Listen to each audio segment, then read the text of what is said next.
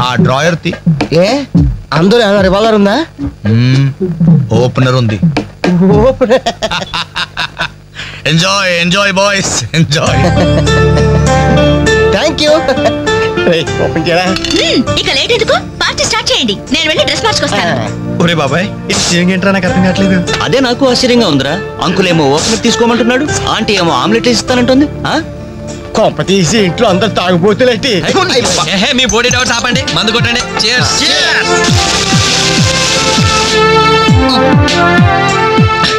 అయ్యి బాబోయ్ మనం అంటే వీళ్ళకి ఎంత ఇన్ఫెక్షన్ రా? ఇన్ఫెక్షన్ కాదురా ఈ ఎఫెక్షన్. ఎఫెక్షన్? తాగాం కదా నాలుక మడత పడిపోయింది? తీసుకోండి బాబు ఇంకోటి తెస్తాను.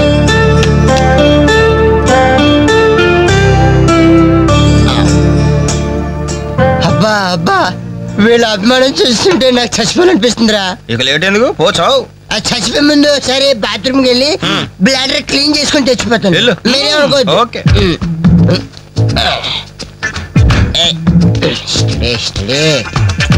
జాగ్రత్తగా చదవరా బాబాయ్. Okay okay.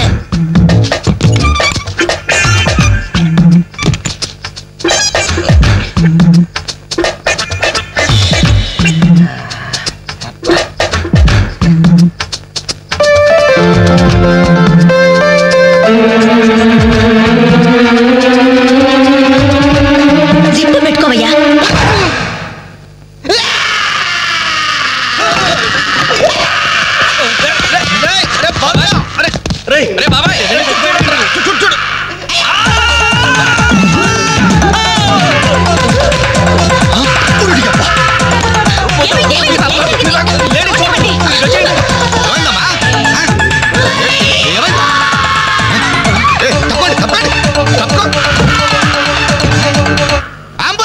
సార్ సంతకం మారండి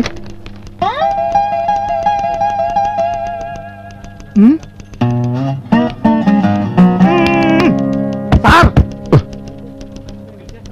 ఏంటయ్యా? సంతకం పెట్టండి. ఏంటి కాస్త మనశాంతిగా ఆలోచించుకున్నావా నన్ను? ఏం ఆలోచిస్తున్నారు? నీ గురించే. నా గురించా? నీ ఒక్కడి గురించే కాదు నీలాంటి అనేక మంది గురించి ఆలోచిస్తున్నాను. రోజుకి ఇరవై గంటలు పనిచేసే అధికారులు ఉన్నారు. వాళ్ళని మించి పనిచేసే సామర్థ్యం నాకుంది. సమయం కోసం ఎదురు చూస్తున్నాను సార్ మీరు ఎంత గొప్పవాళ్ళు సార్. మాలాంటి చెత్తబళ్ళు తోలుకునే వాళ్ళ గురించి కూడా ఆలోచిస్తున్నారంటే మీరు నిజంగా గొప్పవాళ్ళు సార్. థ్యాంక్ యూ ఇక్కడ సంతకం పడండి సార్. సంతకం పంచర్కి కొత్త ట్యూబా? అవును సార్. ఏ బండికి? అదే డబల్ టూ డబల్ త్రీ.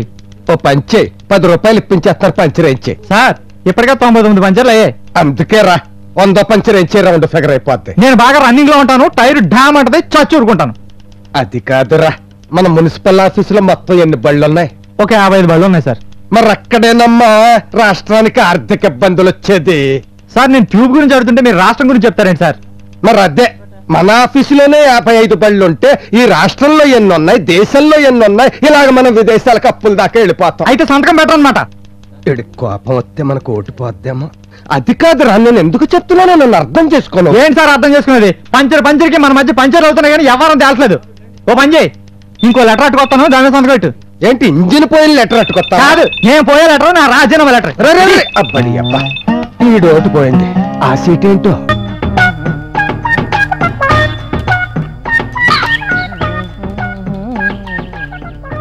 నమస్కారం డాక్టర్ గారు. బాగున్నారా? రండి కూర్చోండి.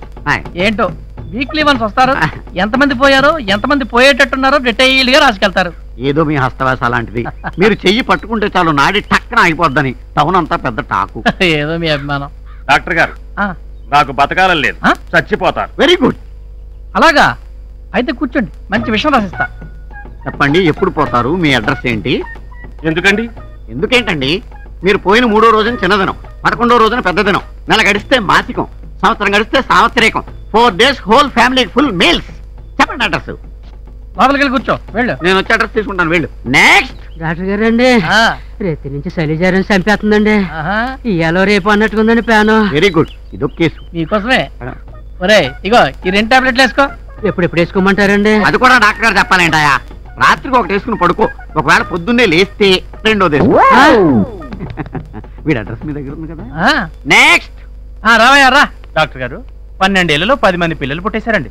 ఇక పుట్టకుండా ఉండాలంటే ఏడ్ చేయమంటారండి? ఇంకేడు చేయకు. ఏడు చేసినా పుడతా. ఏడ్ చేయను. వేస్ట్ క్యాండిడేట్ పరమ వేస్ట్.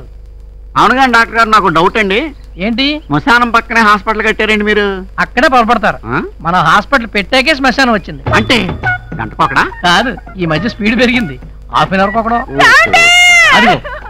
వీడెవడో పావు గంటకే పోయాడు. పోయాడా? ఆ, అయితే వాడి దగ్గర అడ్రస్ కలెక్ట్ చేసుకుంటా. వెళ్ళిపో. ఎంత మంచి డాక్టర్ ఫుడ్ గారు మీరు ఫ్రీ ఫుడ్ కొట్టాయి ఎల్లో సార్ రండి దొంగ గారు రండి. నువ్వేం కంగారు పడకు. మనం మనం ఒకటే.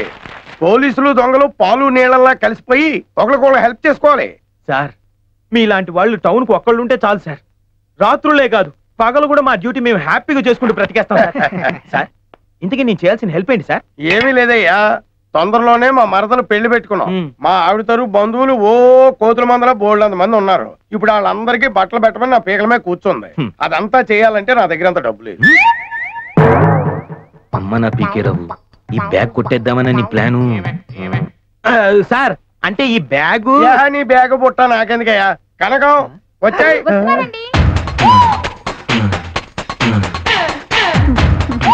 నేను రెడీ. ఈవిడే మా ఆవిడ. నమస్తే మేడం. నమస్తే. నువ్వు చేయాల్సిన పని ఏంటో తెలుసా? ఏంటి సార్? ఈవిడ చీరలాగా ఓ, సార్ నేనేదో వదిలేసిన చెప్పులు ఆరేసిన చీరలు కొట్టేసే టైపే కానీ ఇలా రేపులు చేసే టైపు కాదు సార్. అది నీ మొహం చూస్తేనే తెలుస్తుందయ్యా. కానీ నువ్వు చీరలాగితే బోల్డ్ అని చీరలు వస్తాయటగా? మీకెలా తెలుసా? నేనే చెప్పా. అంటే ఆ రోజు అలా అనకు బాబు. నీ చేతిలో ఏదో మహత్యం ఉందట. ఈ చీరలాగి పుణ్యం కట్టుకో బాబు. లాగితే చీర ఊడిపోద్ది మేడం. నేను లాగితే ఊడిపోతుంది కానీ నువ్వు లాగితే ఎందుకు కొడుతుంది ఊట బావిలోంచి నీళ్ళు ఊరిన చీరలు వస్తూనే ఉంటాయి కదా. లేదు సార్ అంటే అది ఆ రోజు ఏంట్రా పది మళ్ళీకున్నావు మా చే పీకే గారంటే ఏమనుకున్నావు ఓడిపోయి పీకే అనుకున్నావు ఆ. లాగి పెట్టి కొడతా. అన్న! తొందర కానీ నేను తీసుకొస్తాను మా ఆవిడ చెప్పాను. అక్కడ లాగించుకోవడానికి వెయిటింగ్ కళామందిర్లో చీరలాగా? రకానికి వంద చీరలైనా లాగు బాబు. ఈ పెళ్ళికే కాదు ఈ జన్మంతా సరిపోవాలి. లాగు బాబు. అది. నా బాబు కాదు.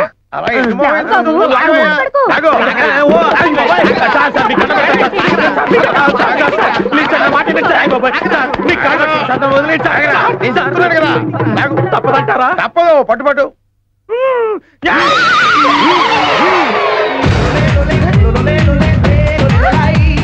ఏంట్రా ఇది చీరలు వస్తాయనుకుంటే ఉన్న చీర పీకేశావు ఏమండి ఈ బ్యాలెన్స్ కూడా ట్రై చేయమనండి వచ్చినా రావచ్చు అవును సార్ మేడం గారి కోరిక కాదు కదా సార్.